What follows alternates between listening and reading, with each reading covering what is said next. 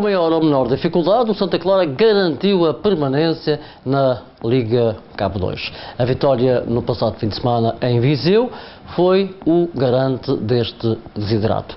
Este fim de semana, os pupilos de Horácio Gonçalves recebem o Sporting da Covilhã em jogo da última jornada do campeonato. Domingo às 16 horas, no estádio de São Miguel, Santa Clara Sporting da Covilhã, com prováveis mexidas no 11 açoriano. No Campeonato Nacional de Séniores, o Operário já tem manutenção garantida.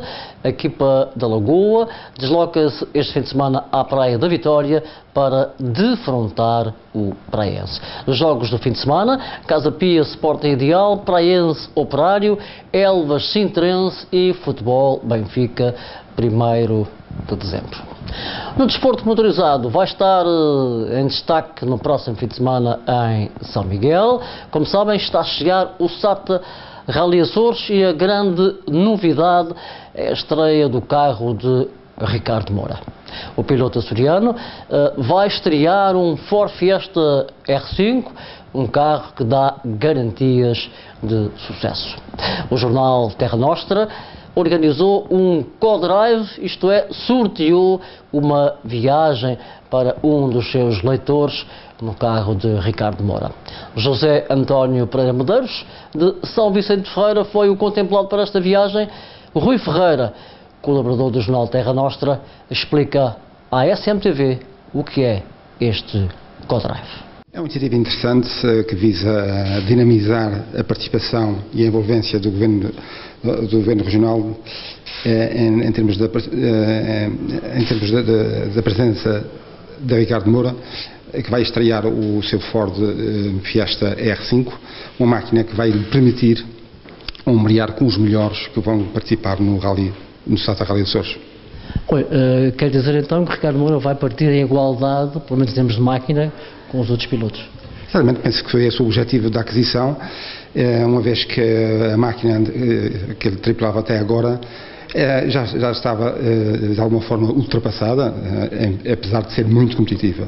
Agora, com um carro novo, acho que o Ricardo reúne condições para fazer uma prova excelente. Oh, Rui, para as pessoas ficarem com uma ideia, este carro é mais potente, é mais fiável do que o Skoda? É, é um carro da mais recente geração. É, é, o Skoda era do, do modelo S2000. É, agora, com esta nova designação, ele assume uma competitividade muito maior e mais performante por, por força das suas características. Em termos de, de potência, mais potente, cavalagem? Bom, isso anda, o, em termos de potência, anda, os valores andam na casa dos quase 300 cavalos. Eh, este carro penso também é um bocadinho mais pequeno. Não, a dimensão é, é a mesma. É, é da mesma. Em termos de dimensão, não, não há alteração. Então o Ricardo Moura não tem outro remédio lutar pela vitória. Exatamente, a minha opinião é precisamente esta. É, reúne condições na estreia para, para, para se bater pela vitória. Mas não será uma responsabilidade, sabendo que tem carro, eh, pode os níveis de ansiedade irem mais alto e falarem mais alto, obviamente, digo eu. É, mas é natural que assim seja. Um piloto como o Ricardo está preparado, penso eu, para, eh, para ombrear eh, com essa tarefa. Grande expectativa para a estreia da nova máquina de Ricardo Moura, o Ford Fiesta R5. No basquetebol, Cláudio Mira, mais conhecida por Miracação, ela é a atual técnica da equipa do Operário, equipa de basquetebol feminino. Miracação colocou um ponto final no passado fim de semana a sua longa carreira num jogo frente à União Esportiva. Miracação representou o ginásio Figueirense, onde foi campeã nacional de cadetes, independente de Coimbra, União Santarém, Figueirense, União Miquelense e Operário. 32 anos ligados à modalidade. Foram 32 anos da minha vida, onde eu aprendi tudo tive vitórias, tive derrotas, tive tristezas, tive alegrias. O basquete, o basquete. trouxe, trouxe muitos ensinamentos para a vida? Trouxe-me tudo. A minha mãe foi completando com a educação que me deu, os meus pais, mas trouxe-me tudo. Corri Portugal de les a les, a jogar. Uh, acabei aqui nos Açores, numa terra que me apadrinhou um clube onde eu jogo há 16 anos e gosto muito. E agora, eh, vai sair do, do terreno do jogo e agora vai abandonar o basquete em definitivo? Não, não, nem, não consigo. Acabei a minha carreira como atleta, vou-me dedicar à carreira como treinadora. Vai ser no operário? Vai, sim senhor, e com os escalões mais baixos. Uma última questão, qual é o ponto mais alto e o, o menos bom da sua carreira? O menos bom foi uma lesão, uma ruptura de ligamentos, que eu tive que ser operada e tive três meses em recuperação. Ponto mais alto, penso que foi o primeiro de todos que ganhámos o primeiro campeonato nacional de juvenis femininos em 84 e 85. Pelo? Ginásio Clube Figueirense. Primeiro de todos. Miracação, 32 anos ligados ao basquetebol. O Parque Urbano em Ponta Delgada foi palco no passado fim de semana do encerramento da temporada do Giravolley. Crianças do primeiro ciclo, dos 6 aos 10 anos. Isto é um projeto para crianças do primeiro ciclo, dos 6 aos 10 anos. Consiste em só bola no ar, só existe o passe. Neste momento temos aqui atividades lúdico-desportivas. Não, não, temos só o jogo, não estamos preocupados só com o jogo, temos aqui outros tipos de atividades motoras também do encerramento da nossa atividade. Vamos lá saber, eh, eh, em termos práticos, isto é o encerramento da temporada. Exatamente, do Giravole, que está a, paralelamente a isso, temos as escolinhas do desporto, em que eles fazem treinos semanalmente nas suas escolas e mensalmente com a nossa organização, eh, uma vez por mês. E depois, este é o último encerramento da época e já um, um apelo com este bom tempo ao voleibol de praia. Ora bem, uh, isto é, é vocês uh, convocaram todos os atletas desde o primeiro ciclo que praticam vôlei uh, para vir aqui fazer a festa de encerramento. Exatamente, escolas e clubes. Também já temos representantes, o projeto este ano permitiu, através do Governo Regional das escolinhas, permitiu, nós temos também aqui os clubes representados. Temos clubes e temos escolas. E então, eles vêm cá e estamos aqui cerca de 208 miúdos efetivos aqui. dos conselhos de Ponta Delgada, da Ribeira Grande, Vila Franca do Campo. Já agora permitam-me, este, este evento só é possível, esta segunda edição, com o apoio da Câmara Municipal de Ponta Delgada. Tem ideia, as equipas, uma a uma, as equipas que estão aqui representadas? Ora bem, em termos de, de, de clubes representados, neste momento o Clube K já tem a sua formação e também temos o Internacional Volley Açores, o IVA. E depois temos as escolas primárias e depois a ideia deste projeto é os clubes irem buscar as crianças às escolas primárias. Há pouco falou bem no vôlei de praia, está a chegar à altura. Exatamente, ainda lá para junho, julho vamos já ter novidades. Mas não há nada ainda, se pode, possa avançar? Em termos, em termos de datas ainda não temos, mas claro que vamos fazer o voleibol de praia, em princípio na Praia das Milícias. Agora não lhe sei precisar ainda o fim de semana que vamos combinar, está bem? Ricardo Oliveira, da Associação de Voleibol de são Miguel.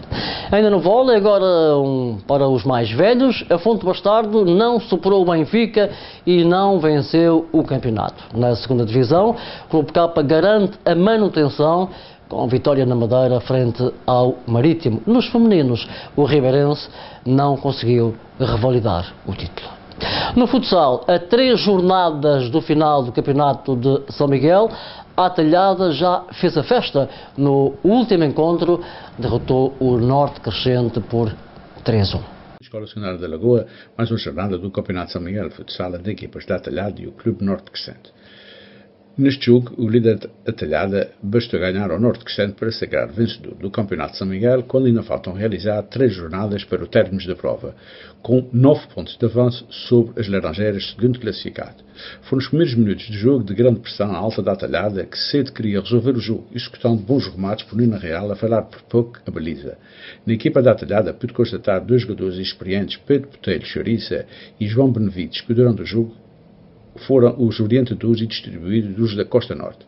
Na baliza da atalhada também estava um guarda-redes Ruben Pereira, muito experiente e atento ao desenrolar dos acontecimentos que, durante esta época, prestou um bom serviço aos lagoenses e ao futsal micalense.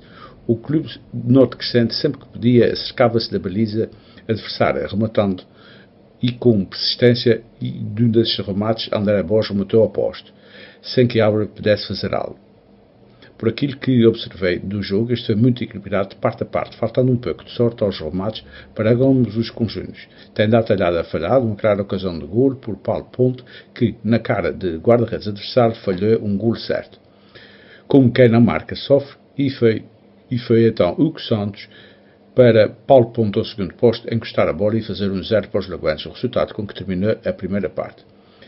Neste, e foi numa reposição de lateral que Paulo Ponto rematou também ao posto de direito. Tudo estavam com as pontarias afinadas, de facto, era para os postos. E foi com algumas perdidas de bola da talhada na meia pista adversária que o Norte Crescente não empatava o jogo, fruto muitas vezes da sua juventude em pista, muitos deles ainda júniores.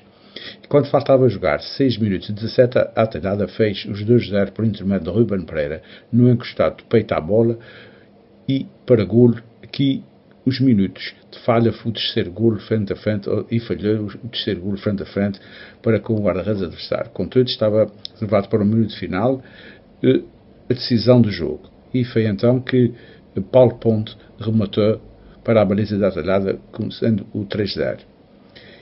Então, a Norte Crescente, nos segundos finais, marcou o, o seu único golo do jogo, com o que terminou sagrando-se então a Talhada vencedor do Campeonato de São Miguel e um digno representante da Associação de Futebol como delegado ao Campeonato dos Açores na próxima época.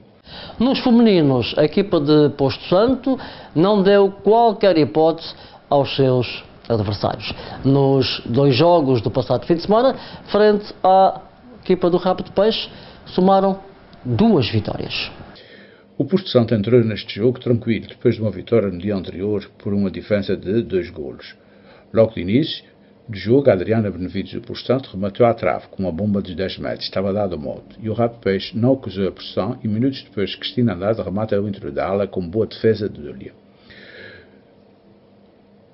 O segundo gol dos Serenses foi conseguido numa jogada também de insistência e de remate de Ângela Tostes com defesa incompleta de Filipa Medeiros. Com dois golos de Ângela e oito de Beatriz, o clube por Santos foi para o intervalo a vencer por 5-0. No começo dessa segunda parte, e numa atitude antidesportiva de Cristina, que se, de, que se deitou no chão, demonstrando não querer jogar, foi aí que começou o desnorte da equipa de de peixe. Atitude esta, não punida pela dupla de arbitragem.